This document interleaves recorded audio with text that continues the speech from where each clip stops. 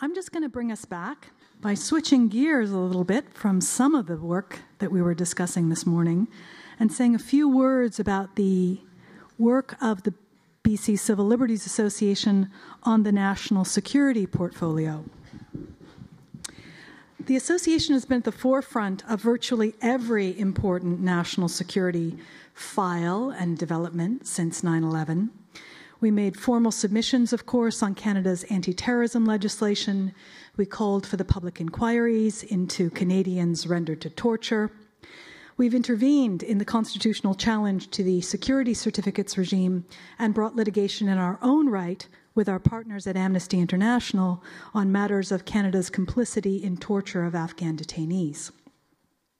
In addition to national security work per se, issues of national security have inflected almost every aspect of civil liberties in Canada right now. From purported national security privilege increasingly being invoked to bar citizens, journalists, and even parliamentarians from vital access to information.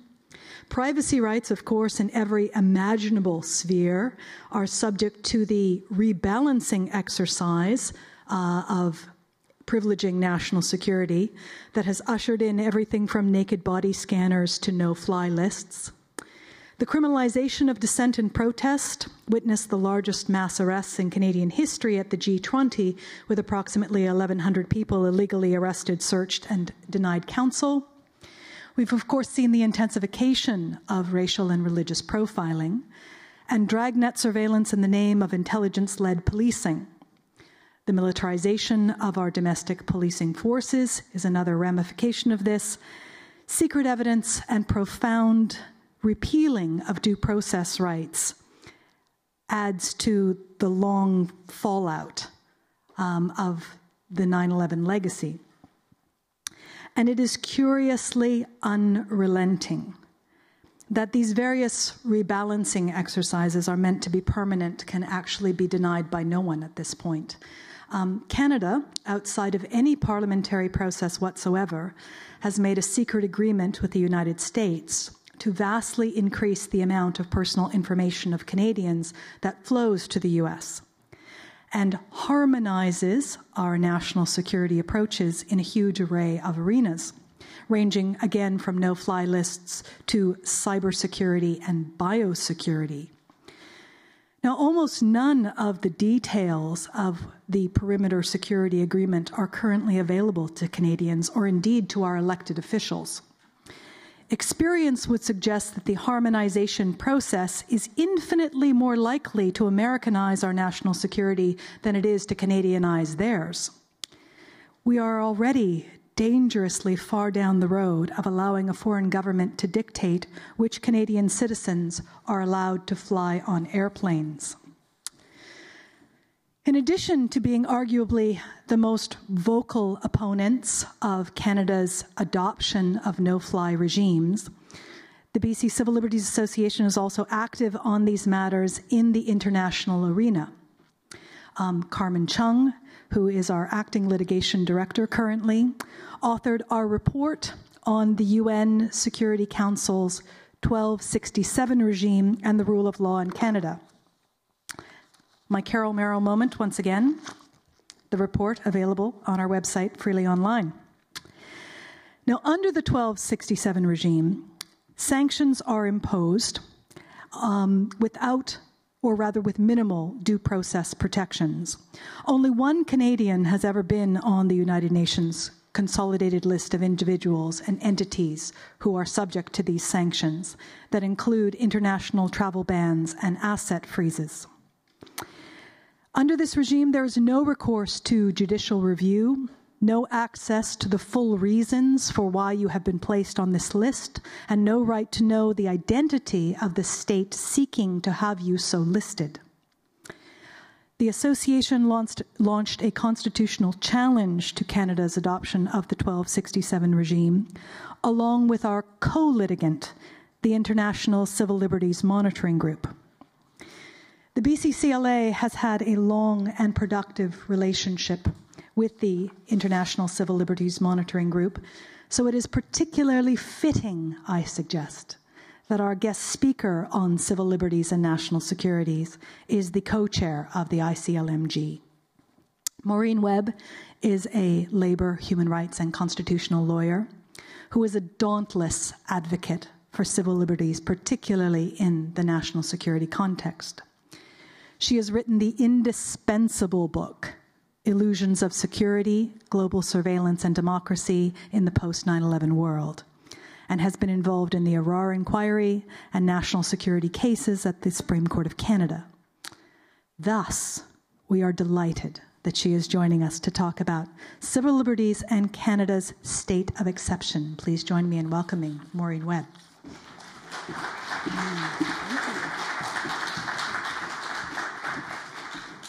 Well, thank you. We're here to celebrate BCCLA's golden anniversary. And founded in 1962, it's one of the oldest civil liberties organizations in Canada, the oldest, I'm told, and certainly one of the most active. And it has a stellar record of collaboration with other groups. And as Michael noted, that's how I came to know BCCLA. Um, I, I, through my work with ICLMG, um, I'm actually no longer co-chair, but um, uh, we've had some really wonderful collaboration uh, with your organization. And BCCLA has been a true leader in the country. Uh, it's been there where other groups have been absent or unable to be there. It's been in the courts, the media, always there as an ally, always dependable, resourceful, and smart. And I'm delighted to be here uh, and honored uh, today to speak here today. I was told that this weekend would be an occasion to reflect uh, as a civil, uh, as a community concerned with civil liberties, on the historic civil liberties um, challenges that we've had, and as well as emergent ones and future possibilities. And that really led me to think about what civil liberties are and what they mean in Canada in particular. One might say that civil liberties are a, essentially a fundamental set of individual a, a, a, set of fundamental individual rights, primarily political rights, that regulate the relationship between the individual and the state. But really, I think they're more than this. Civil liberties are an ethos that grow out of a specific culture. And um, so, for example, civil liberties in Canada are quite, they have quite different aspects than civil liberties in the United States. As, as you would know, um, they are, tend to be more communitarian, more evolutionary, less revolutionary. Uh, the right to property and to bear arms, for example, are not part of our civil liberties lexicon, though our ethos flows from the common font of the English common law tradition. And within Canada, there are variations in the civil liberties ethos as well, I think.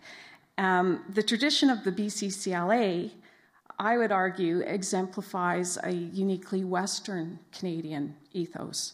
Um, and perhaps it's the, the individualism of the frontier ethic, or, or just the fact that you're not as connected to the metropolis, you care less um, uh, about the um, central Canadian politics, that it makes it easier for BCCLA to take some really bold stances on issues uh, such as the early stance that you took on the, uh, the uh, transfer by the Canadian military of Afghan detainees to uh, a high risk of torture in Afghanistan. At the same time, the ethos of our colleagues um, who are uh, also close comrades of ICLMG, La Ligue des Droits, La Ligue des Droits et Libertés in Quebec, uh, grew out of a very different um, cultural tradition. Um, the, it came out of the, cult, the, the quiet revolution in Quebec and the vision of a new socialist and egalitarian society there, which they are currently engaged in defending with students on the streets of Montreal. So there is, I think, a rich and uh, distinct tradition of civil liberties in Canada that has informed both our struggles uh, over the course of our history um, and our victories, and uh, has done so in the past decade in particular. And the past decade with its war on terrorism has been a decade of special challenge for civil liberties. Each of you, I'm sure, has a story uh, to tell of the, uh, the day um, and the place uh, you found yourself in uh, when the Twin Towers came down uh, at the World Trade Center. You might have known somebody at the towers, you might have been on a plane. Uh, I myself happened to be in New York at the time and, and saw the towers come down. And here in Canada, and particularly in BC, many of us might have even more searing memories of the, uh, the day when uh, the Air India flight um, went down with 166 Canadians aboard it. When violence threatens a democratic constitutional society, the reaction is visceral. And it's in this high emotional state that the society must determine what is to be done, the extent to which it can defend itself without losing the very attributes that define it there's a very interesting um, American academic uh, whose name is Oren Gross, who, uh, to whom I owe much of my thinking about emergency laws. And he's noted that this dilemma is uh, uh really has tragic dimensions. You know, and if you think of tragedy as uh, uh, being about a character flaw that brings the protagonist inexorably to ruin.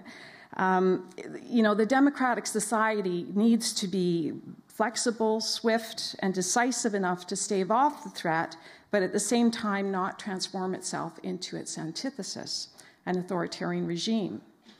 And it has to answer the very fraught question to what extent can we sacrifice constitutional democratic values in order to save the democratic constitutional order itself?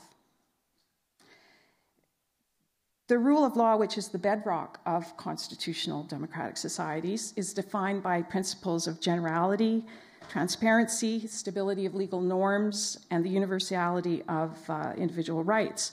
Whereas violent emergencies seem to challenge these tenets directly since they call for particularity, executive decision, secrecy, swiftness, and broad discretionary power. In other words, a state of exception to the normal, peaceful legal and political order. And over the course of history, societies um, have developed various models for invoking a state of exception to deal with extraordinary threats. In ancient Rome, um, there was, any of you that are uh, interested in, in ancient history, might be familiar with this. There was an institution um, of a temporary dictatorship, which was built into the constitutional structure of the republic. And it separated those who declared the emergency from those who exercised the dictatorial powers. Uh, in France, um, there was the concept of a state of siege. In the British common law, there has been the um, concept of martial law. And in human rights, uh, international human rights, as many of you would know, there is the idea of a temporary derogation from specified rights, such as the prohibition on uh, arbitrary detention, in times of public emergency, um, which can be invoked where uh, the crisis threatens the life of the nation. Um, all of which are, are fairly uh, high thresholds to meet. Uh, now, I don't have time to describe each of these models, of course, uh, today, but the key to each is that the state of exception is invoked to meet an existential threat. It's provisional, it's temporary in nature, and it's premised on the eventual return to normality. And in Republican Rome, the term of the dictator's office was limited to six months, extremely short time. Um, and that was one of the keys to the successes of that particular institution. So the crucial concept in the models that um, that have been um, less unfortunate over history um, is that there is a, a, a really defined separation between the exception and the normal. Now, a darker, more extreme version of um, state, ex- uh, state of exception is the so, called constitutional dictatorship model of Carl Schmitt, who was one of the uh, uh, most prominent legal scholars to give his um, support to the Nazi regime in the 1930s. And in his model, the exception was really the norm. uh, since it was the leader who both exercised the exceptional powers and who decided when they could be invoked. And since they could be invoked at any time on any basis, Schmitt's constitutional dictatorship really wasn't a, a legal theory at all, but rather a veil of legality for pure um, for what is pure power politics. Um, but of course, as we know, a veil of legality is often exactly what those aspiring to authoritarian powers um, value. And I, and I found it really interesting um, reading a book recently that was written in the 1930s, contemporaneous with the Nazi regime. Um, said that the common nickname for Adolf Hitler at the time during his rise to power was Adolf Legalité, since he um, seemed to put so much stock into um, being seen to win power through legal means.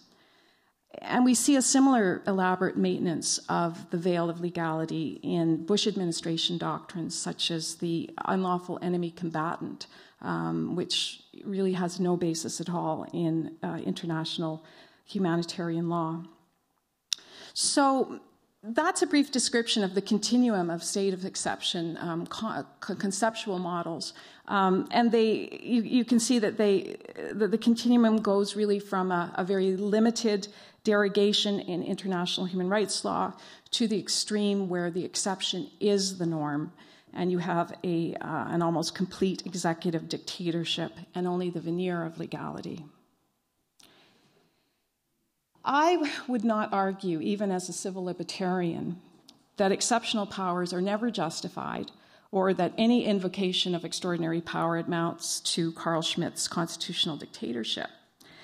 It's possible, even for a civil libertarian like Pierre Trudeau, uh, to invoke a state of exception when faced with escalating violent acts on domestic soil. And in the FLQ crisis of 1970, he invoked the War Measures Act rightly or wrongly, to meet the threat of um, continued bombings um, escalating into kidnappings and assassinations by Quebec separatists. However, I think that the lesson that uh, history teaches us is the extreme danger of the exception swallowing the normal. Whatever society's intentions are when it first invokes uh, the exception. And the lesson is that one must scrupulously assess the necessity uh, for invoking a state of ex- exception, scrupulously assess whether we are in fact facing an existential threat, and, um, and whether the ordinary law cannot really meet the challenges that we face. Because the separation of the exception from the norm is extremely hard to maintain. Once invoked, uh, emergency powers tend to take on a life of their own. They, um, the temporary becomes permanent. They function creep, they intensify, they multiply, much as uh, Michael has described, and ultimately they change the political culture itself. And we see this across jurisdictions and historical periods. There's a remarkable similarity in how it happens. In, in ancient Rome, the mechanism of a temporary dictatorship that was tightly controlled during the Republic and maintained strict temporal rights worked very well until the practice began, began to change and um, uh, it degenerated over time into pure permanent dictatorship. In Ireland, uh, of course, there were counterterrorism laws uh, passed um, during the Troubles, and the idea was that these were supposed to be operate as a separate regime. And they existed alongside the criminal law for a time until they began to pervade it. And just as an example, there was a provision in the um, one of the anti-terrorism uh, pieces of legislation that allowed police to arrest uh, people on mere suspicion and hold them for 48 hours for interrogation, something like the preventative arrest uh, uh provision in the Canadian Anti-Terrorism Act. And of course, um, it had been passed as legislation to be used only in, in national security um, type crimes. Uh, but soon police were asking that it be used in all seri- for all serious crimes and began using it routinely um, against what one uh, Irish commentator um, uh, charmingly put it uh, ordinary decent criminals. Um, and when the new Criminal Justice Act was passed in 1984, it, inc- it incorporated this provision. And the um, legislative uh, documents uh, gave the rationale that this was merely an implementation of the situation that had developed on the ground. In Israel, there was um, a law and administration ordinance of 1948 which gave authorities to issue um, emergency regulations. And it was used with a fair amount of restraint for, for 25 years until the 1973 Yom Kippur War, when it began to radically function creep. Um, and it was then used repeatedly to settle labor disputes. And authorities became very addicted uh, to using it um, to, uh, as a way to bypass collective bargaining, uh, which for any of you that are BC teachers or with the BC labor movement, um, that there's a cautionary tale perhaps. Um, I'm going to see if I can move this up a bit because I would rather stand straight. that, that's fine, thanks. That's great. Um, and in the US, oh, is that best? Yeah. Oh, okay. All right, thanks. In the US, um, we, we see examples of emergency legislation that have both become permanent and have intensified and multiplied. There's been two reauthorizations of the USA Patriot Act um, in 2005 and 2006, with numerous additions made, and trying to follow the layers of enactment and amendment and reenactment. Believe me, it's a full time career in itself. Um, and despite promises of reform, things have actually intensified under the Obama administration. Obama himself recently authorized controversial, um, he reauthorized controversial surveillance provisions that had sunset um, clauses on them under the Patriot Act. Uh, the NSA domestic spying, which, if you recall, caused such a scandal when it was revealed um, that the Bush administration um, was doing this secretly under um, um, um, John Ashcroft, was actually put on a firmer legal uh, footing by Obama. And by the way, the NSA collects 1.7 billion emails, phone calls, and other communications every day and uh, sorts these into 70 databases. Many of uh, these communications are domestic American communications, and you can bet that many of them are Canadian too, since Canadian, um, a lot of telecommunications or, our networks are routed through the major routing systems in the United States. Despite the president's executive order to close Guantanamo Bay, the um, prison remains open. Detainees remain there uh, without charge or trial. The flawed military commissions are still operating. And just last year, Obama signed the National Defense Authorization Act, confirming the military's power to detain people indefinitely and without charge anywhere in the world, um, unconnected to a battlefield, as is required under the, uh, the law of war. The Act also restricts the transfer of detainees who are cleared of wrongdoing um, to other countries, making the closure of Guantanamo Bay even more difficult. And the Obama administration has retained its authorization, its authority to conduct rendition, extraordinary rendition, and even the um, notorious uh, assassination program of the Bush administration. This has actually increased over the Obama years. And in 2010, the New York Times reported that the Obama administration had authorized that program to assassinate an American citizen.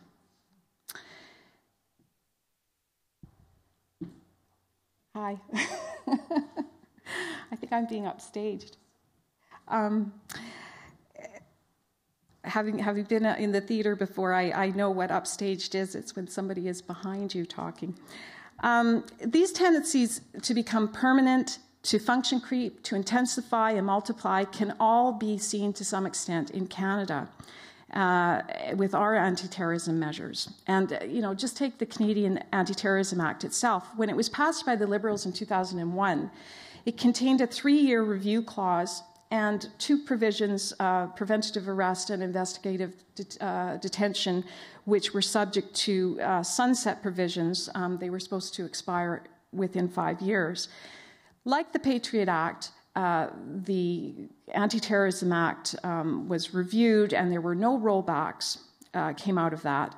Unlike the Patriot Act, the sunset clauses uh, were actually allowed to expire, expire, in 2007, but this was really only because of that odd thing we have in Canada uh, that they don't have in the two party system in the United States a, a minority government. Um, and the Conservatives, who are now in majority, have reintroduced them. So, this legislation, this emergency legislation, is now permanent. The Anti Terrorism Act in Canada was supposed to enact a separate terrorist regime. Um, but when we examine its impact, one sees that it's not separate from the normal order at all. Uh, it profoundly affects our evidence regime, our privacy regime, immigration, policing, freedom of information, criminal law regimes. And I've written a whole article on this, and, and Michael has described some of it to you um, uh, this afternoon take the effect of the Anti-Terrorism Act on the criminal Canadian law, uh, Canadian criminal law alone. Uh, with the idea of terrorist of terrorism offenses, it introduces a new motive element into criminal law, which is foreign to the concepts that um, that uh, make that law work, um, and potentially politicizes the criminal code. The offenses of material support pile inchoate offenses on top of inchoate offenses. Some of you are probably criminal lawyers here. For those of you that aren't, um, those are the aiding and abetting type offenses, and you can aid and abet to aid and abet under the new um, provisions of the um, criminal code brought in by the Anti Terrorism Act. So this changes culpability in complex ways uh, and unforeseeable ways basic principles such as um, the fact that um, a, uh, a, citizen has no uh, obligation to assist the police are undermined with uh, things like the investigative hearings. Uh, reasonable grounds um, of suspicion are subverted uh, with um, mechanisms like preventative detention. And in fact, the ATA is the counterpart of the US Patriot Act. Assassination programs aside, Almost every major counterterrorism initiative in the US, from the Patriot Act to the push for biometric ID cards and DNA banks, um, to the no fly list, the NSA domestic spying, data mining, lawful access, border controls, all of these have their counterpart in Canada. And as Michael said, we are currently setting up an interoperable, integrated North American security perimeter with the US. So, what does that say about a civil liberties ethos in Canada? We face some of the very uh, state of exception dangers that other societies face, and yet we have entered into this state, I believe, in a relatively unthinking manner. We've not had, and we're not having, the kind of soul searching, society wide debates that other societies have had. Uh, and, and I'll come back to this theme in a moment. Part of the myth of separation um, is uh, this idea that draconian laws will be used only against a discrete, targeted group, a them or an other and not against the rest of the population and us. To take historical example, um, this quickly breaks down. Uh, the brutal counterterrorism measures the French used against colonized Arab population in Algeria were eventually used on French soil against French citizens. And there's many aspects of Canada's anti-terrorism measures that will be used against Canadians who are not uh, members of the usual suspect groups, not un, uh, unfortunate enough to be part of Canada's Muslim minority. Um, and this, I'm talking about things not just legislation like the Anti Terrorism Act and the Public Safety Act, but the myriad of surveillance measures that have been implemented to create an infrastructure of almost continuous mass surveillance. Um, and this was the subject of the book that I wrote that Michael uh, kindly referred to. These measures give governments unprecedented social control. And they've also been extremely costly to implement. And so governments will not be giving up these uh, infrastructures anytime soon. They will have long term and insidious effects on all of our lives. Carl Schmitt said that the state of exception tended to clarify or expose the power relationships in a society in drawing the line between friend and foe and setting up the, the most dire consequences of that delineation. And this is a very interesting observation, and I think it's one that, that leads to some interesting observations um, about Canada. How far we will go in a crisis. Um, and, and I think that, that the answer to that has a lot to do with, um, as I flagged earlier, our relationship with the United States, but also with the fluctuating uh, way in which we draw racial lines here. There's an anecdote that, that shortly after the Air India crash, um, Pre- Prime Minister Mulroney called the Indian Prime Minister to give him his condolences. Um, and obviously, there was a perception in his mind uh, that the victims were not us, but some other group. There were no changes to our legal and political regimes as a consequence of the Air India crash, uh, or as an immediate consequence. By contrast with the 9 11 events, um, it seems that there's been great clarity on the part of successive Canadian governments that we'd better be counted among the United States' friends. I don't believe that Canadians really, really think that terrorism constitutes uh, uh, an existential threat to us, but we have pretty much toed the line on the demands the United States have made uh, on us for an integrated security space. But there have been a few notable exceptions. And here I think the story of Maher Arar and Monia Mazigh uh, is important. It's a uniquely Canadian story they very early on broke down this uh, division between an us and a them. And subsequently, I think that Canadians and Canadian institutions have repeatedly rejected this easy yet false dichotomy in a way that, that one really can't imagine happening in the United States. Now, I think it was had a lot to do with their particular uh, personal charisma, their persistence, and the obvious integrity that uh, uh, of, of, both of them. Um, it, it, broke down the idea of an us and them, and we could see ourselves in them. As a result, we were subsequently much more willing to go out on a limb for others whom we, we might automatically otherwise have treated as another. And this Arar factor, I think, has been uh, instrumental in many of the victories that we've had in Canada um, since, you know, from the beginning with the successful call uh, for the public inquiry in, into uh, his case, um, into the uh, with the subsequent um, public inquiry that we won uh, with the Iacobucci inquiry into the cases of other Canadians who had been detained abroad in the repatriation of Abdelrazik, uh, Abousfian Abdelrazik, and his delisting from the UN um, uh, terrorist list, in the series of security certificate cases, and finally in the Afghan detainees case, all of which took a traction in Canada that I cannot imagine they would have in the United States. This Arar factor and the leadership, I will say, of BCCLA which was always one of the first organizations on, on these files, put litigation and other resources into each, and took a bold, fearless, and articulate stance on all of them.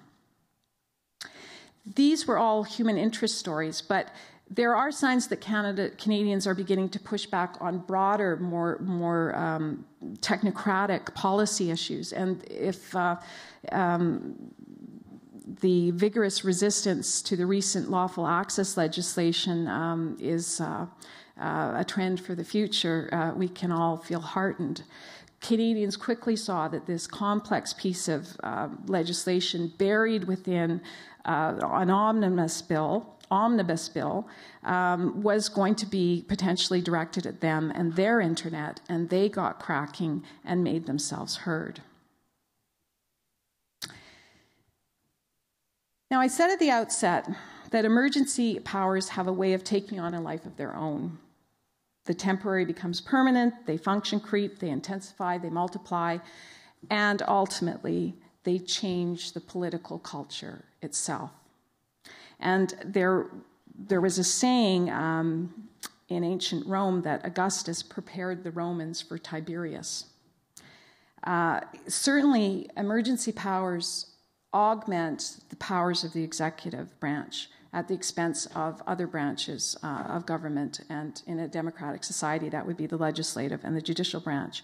And we've seen this clearly in the United States with um, the executive orders of the president.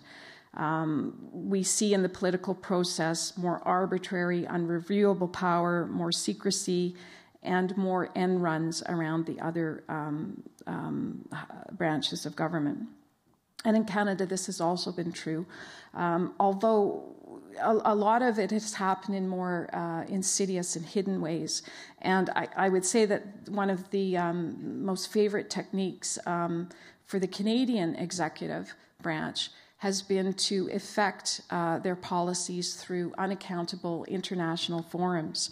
Um, one organization is called this policy laundering, where you point to the International Civil Aviation Organization or the G8, uh, uh, and you say, well, you know, we have to be a member of, uh, of the modern um, Western community of nations, and uh, they're telling us we have to implement these new no-fly lists or whatever whatever the uh, the counterterrorism measure is. And a lot of it has been pushed through around Parliament, outside of Parliament, in this way.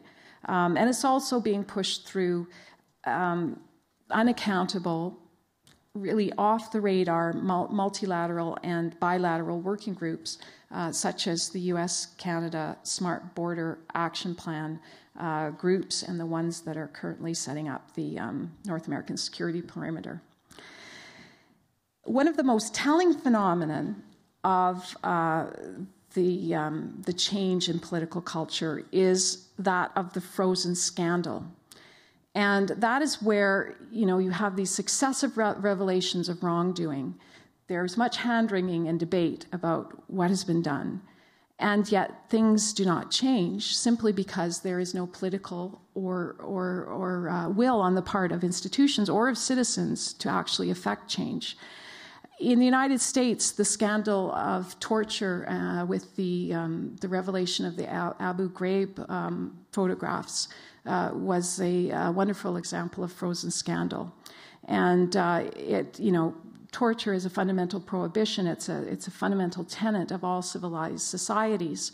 And yet, uh, when push came to shove, the Obama administration has made a, uh, a an actual decision that it will not investigate or prosecute high level officials.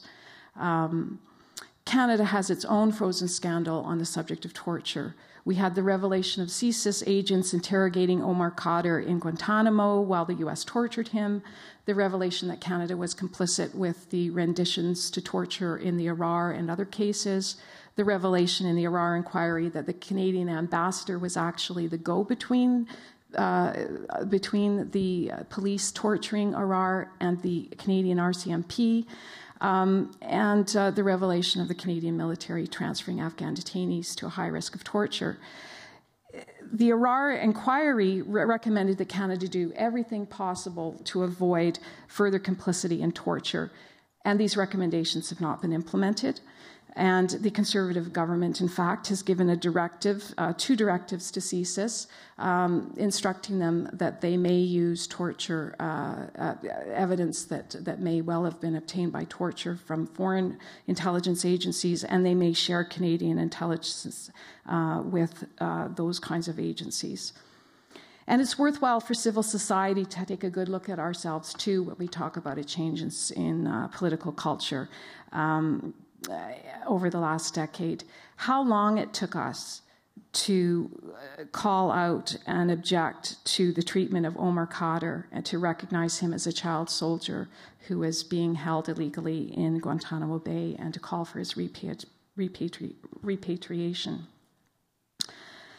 So, to conclude, there are many difficulties in defending civil liberties in times like these. And uh, in the question period, there, there might be more time for me to, um, to expound on that. The challenges are daunting, but there is opportunity too.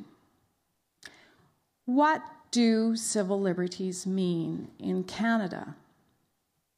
I think this is a time for us to debate and define who we are as a country. There is a future possibility that through struggle, we will come to a more mature sense of ourselves and develop a deeper, more fully, uh, fully worked out, more deliberate, more indigenous ethos of civil liberties. One can look across the victories of the last decade to see how far we've come in this story. And certainly, BCCLA will continue to be a critical actor as the narrative unfolds. Thank you very much. You want to stay up here and argue the questions? Thank you so very much. The mic is available for anybody who has a question right here.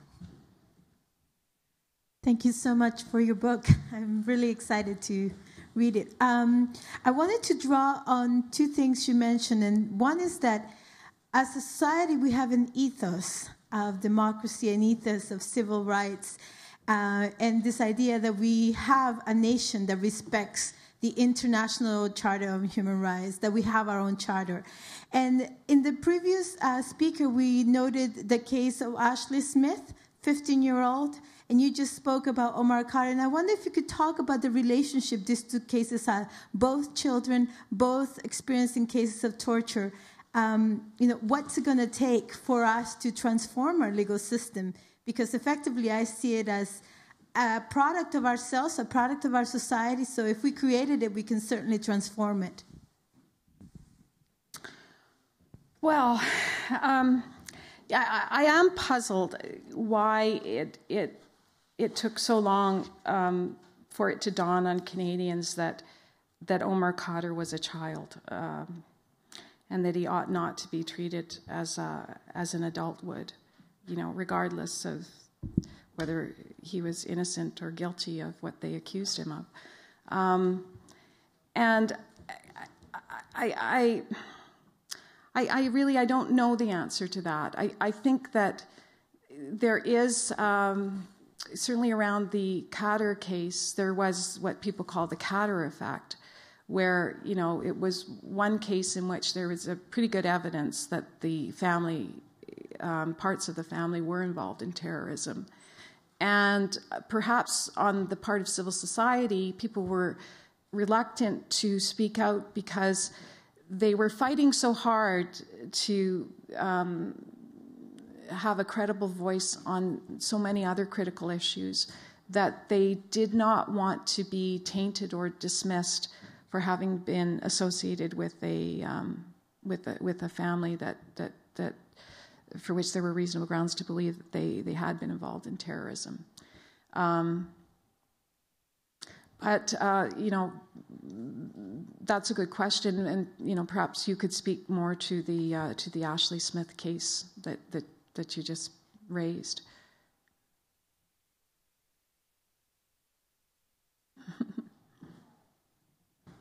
I was only raising it because, on one hand, I do see that the system is biased and, and racially biased, mm-hmm. gender mm-hmm. biased. Mm-hmm. Um, the case of Ashley was actually um, the speaker from uh, Elizabeth Fry who mentioned it. And oh, she was the, the young woman who was put yes. into solitary confinement. Right. And, yes, yeah.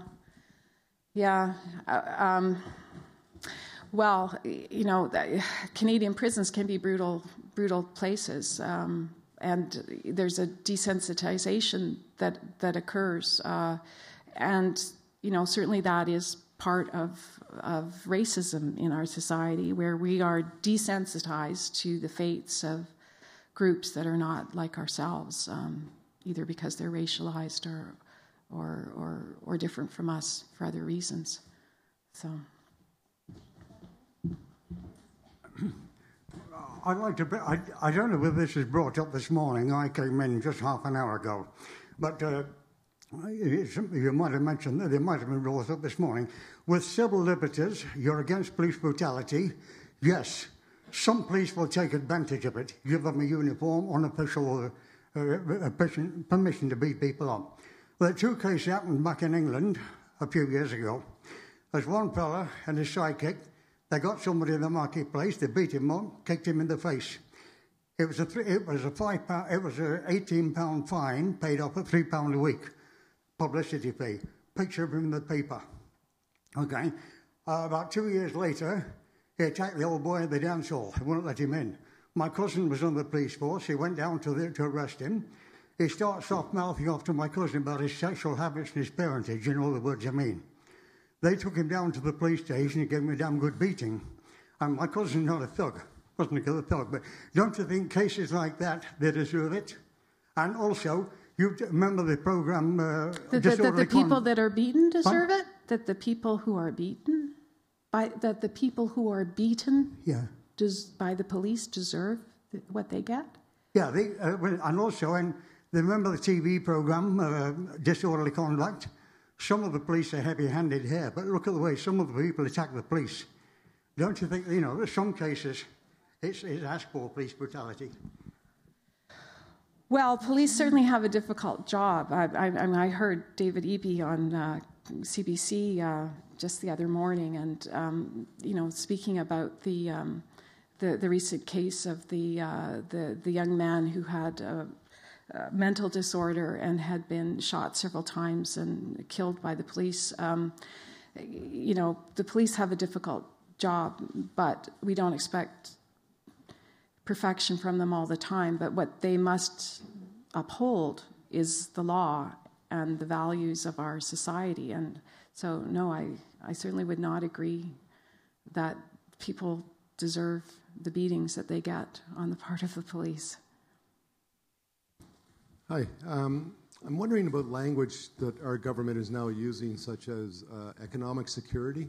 And I realize we do live in a corporate democracy now, and, and it's getting more uh, quite difficult for us to. Uh, but where do you for, where do you see this going? This whole idea of economic security if we as, as, as citizens are to stand up and say protest oil pipelines or otherwise, and they use this kind of language, this kind of bills that they're passing, and I'm just wondering where you see that heading. Well, um, you know, over the last 30 years, we've had uh, the um, supreme victory of neoliberal economic thinking over all other kinds of um, thinking about what should be valued in, in societies. Um, and one would think that with the financial crisis uh, of the last few years, that that, that um, doctrine had you know been shown to be completely bankrupt, but it it seems to have a great deal more force left in it, and uh, um, you know, the, the, the short sighted uh, um, um, priorities of government in, in, in you know, their environmental policy and their social policy, uh, pointing to economic benefits that might even not be widely distributed, um, is certainly a problem. Um, I, I don't know. Uh,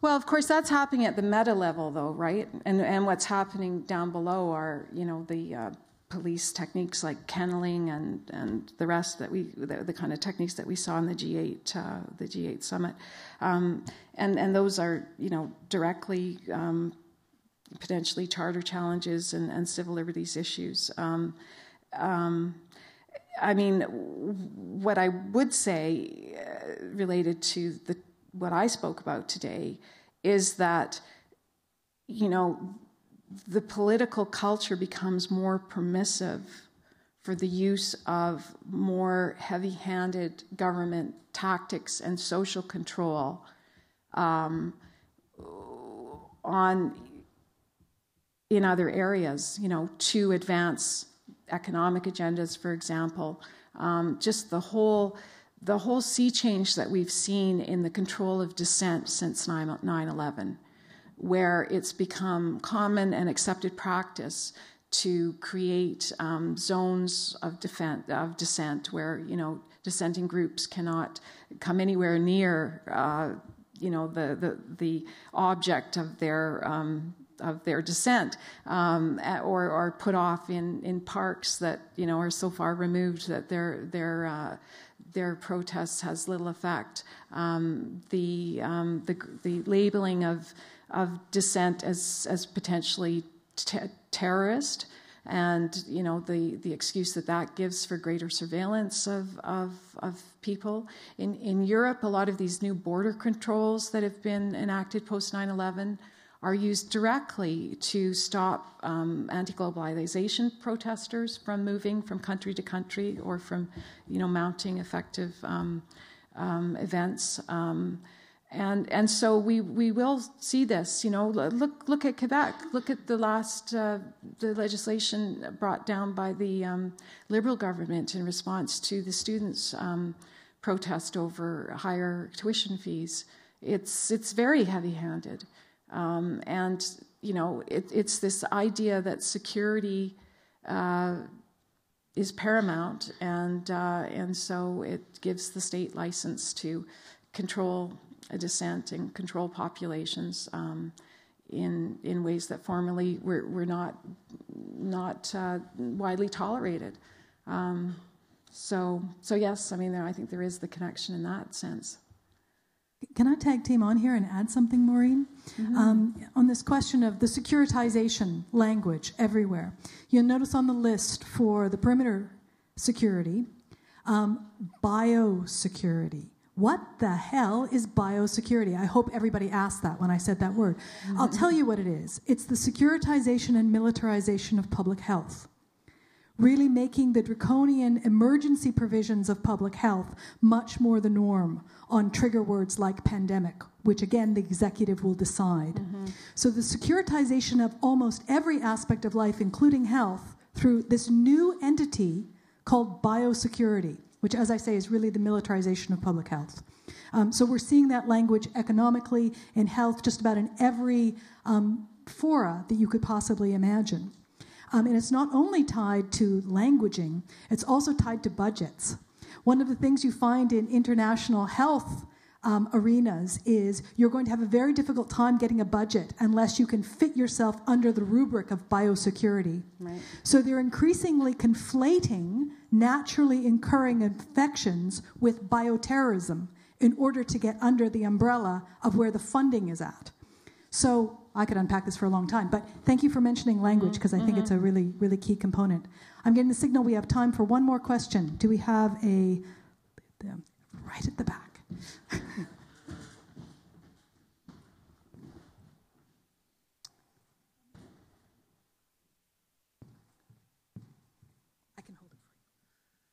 I was in Chicago in 1968, and of course, uh, Mayor Richard Daley had established a one mile perimeter around the Democratic National Convention. And so that was a few years before 9 11. But uh, playing uh, devil's advocate, advocate for a moment, uh, maybe I don't have much talent for that, but maybe a bit.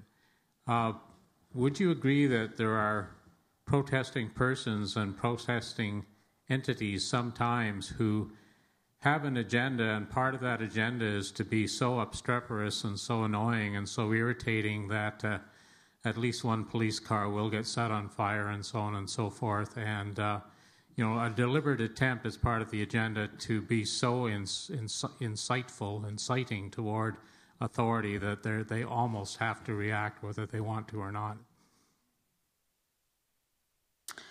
Uh, well, you know, I think a, a really effective movement um, has some control uh, or tries to exert some control over the um, the elements that that might uh, uh, want to um, be provocative and and and uh, in a in a violent way. Um, but I do believe that you know police, policing, this is what policing is about. Policing is about keeping the peace and um, upholding the law. And there are techniques for police uh, to use to, to avoid the, you know, the, um, the incitement of, of stampedes and, and, and um, riots and, and, and all the rest without having to um, necessarily adopt militarized or, or uh, really extreme techniques. Um, and I think it's really healthy that, that police forces like Toronto, for example, are having conversations and, and um, they're questioning the use uh, at the uh, G8 summit of these more extreme techniques like kettling. Um, you know, uh, whether it's really the right thing to do. Um, and sure, there might be a fence torn down or a uh, or, or a, a, police car set on fire um, occasionally in a in a mass protest, uh, but um, often not overreacting is the best political move on the part of authorities. And again, I go back to what's happening in Quebec right now if if the Charest government made one mistake, I think was it was to um, enact this draconian law, which incited a larger section of society to to to go to the streets with the students. Um, so, you know, I, I, I, think it comes down to to technique and um, to tactics, and there's smarter ones and less smart ones for for authorities and demonstrators to to follow.